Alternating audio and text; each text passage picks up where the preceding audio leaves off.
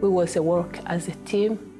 Really, my husband, uh, you know, it was not like husband, it was like friend. Yeah, we had a good time together and uh, it was a work like team. We're really happy and uh, yes. Soft-spoken, gentle Rose Mapendo doesn't seem like the heroic type until she begins to share her story. It's one that's been documented in an award-winning film called Pushing the Elephant.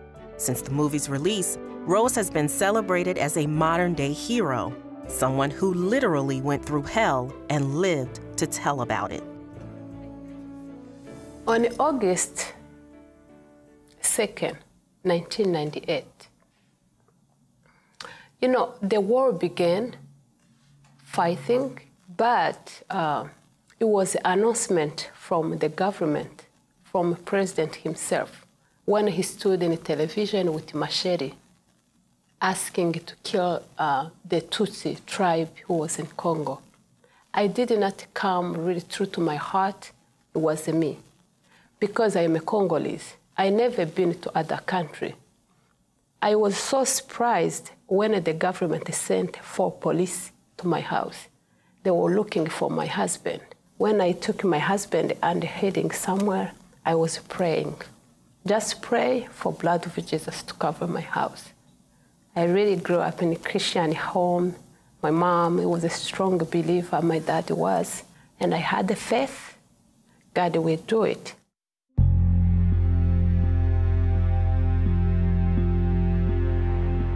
when everybody was asleep, is how the three trucks, four with the military, came to my house. It was a crazy when the, I heard the movement and I looked in the window, it was like hundreds of soldiers. I took my husband in the kitchen, put him under the bed, and uh, they put the kids, you know, they were sleeping. They took me without even shoes, with the baby in my hands and other kids. And they just they threw us to the truck.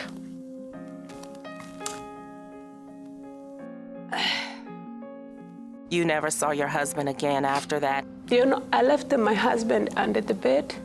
They separated us with the other man who was arrested at that time. And the third day, my husband, he gave up. I really was a big second shock how my husband, he gave up. And when they, they came to say, who's Moise, the wife, they say, I say, I was me. They say, do you have a last word you want to talk to your husband? And I asked him how you do that. He just turned, he said, don't worry, I am a man. I have to die before my family. I'm sure you miss him a lot.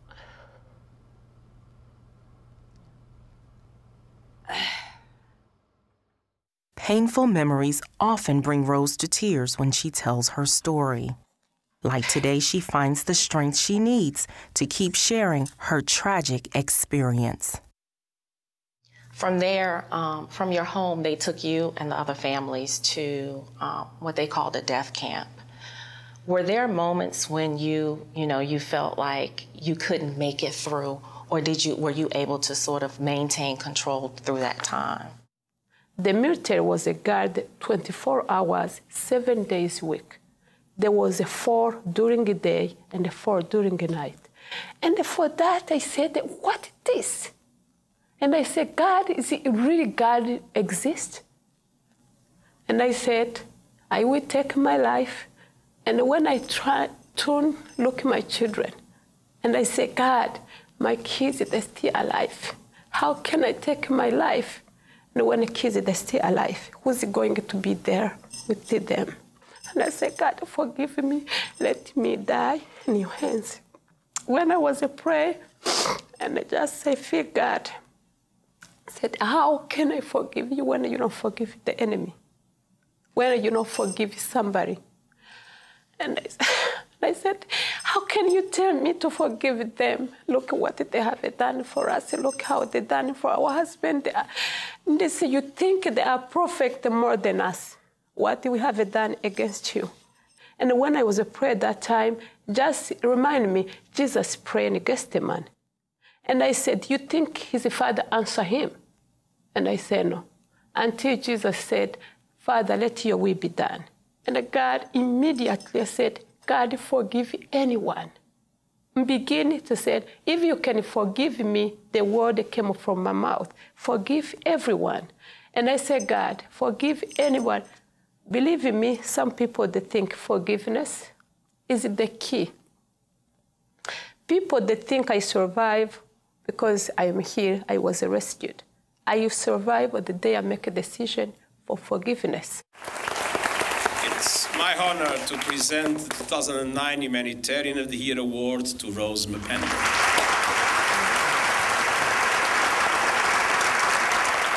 I want to thank God and to honor Him who saved me and my family and all the survivors, Tutsi Congolese in the death camp. The documentary about Rose actually began filming after she and all but one of her children had been rescued and resettled in America. The focus is on the reunion she had with her eldest daughter after being separated for 13 years.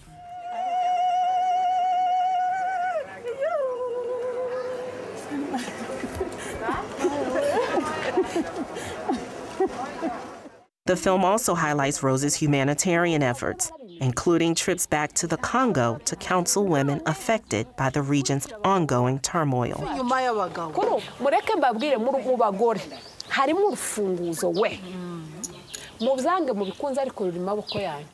Why is it named Pushing the Elephants? What does that mean? All together, we can make a difference when we're united. I believe unity is power. Anything we do, nobody can do alone.